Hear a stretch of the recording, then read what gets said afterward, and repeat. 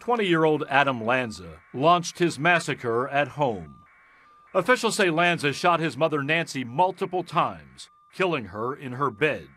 Lanza then took four guns legally registered to his mother and drove this black Honda to Sandy Hook Elementary School, about five miles away. Students there had finished reciting the Pledge of Allegiance, and the building's doors had been locked. Then, around 9:30 Friday morning, staffers in the front office heard popping noises. Police say those were likely the sounds of Lanza shooting out the glass of one of the school doors.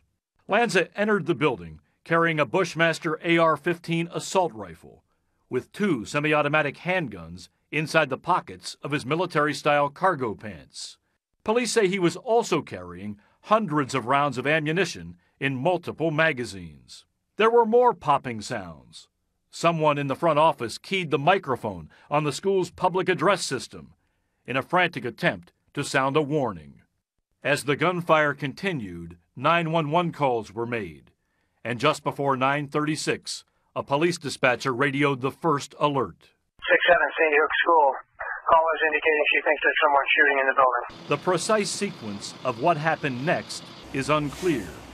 But we do know Lanza headed down a hallway towards the section of the school containing the classrooms of the youngest students. There, he killed 20 first graders, shooting all of them numerous times with the 223 assault rifle. Six adult women, including the principal, the school psychologist, and teachers, were also killed. Police radio logs suggest the shooting lasted about 10 minutes. The slaughter ended as the first police officers arrived on the scene. Sources say Lanza was briefly spotted at the end of a hallway. He ducked from view. The officers heard a final volley of shots. Lanza had used one of the handguns to take his own life. ATF officials now tell us Lanza and his mother went shooting together at various ranges over the past several years. But, Scott, they still don't know if Adam Lanza practiced in recent weeks. Bob, you mentioned that there was a fourth gun. Do the investigators have any theory on what he intended to do with that?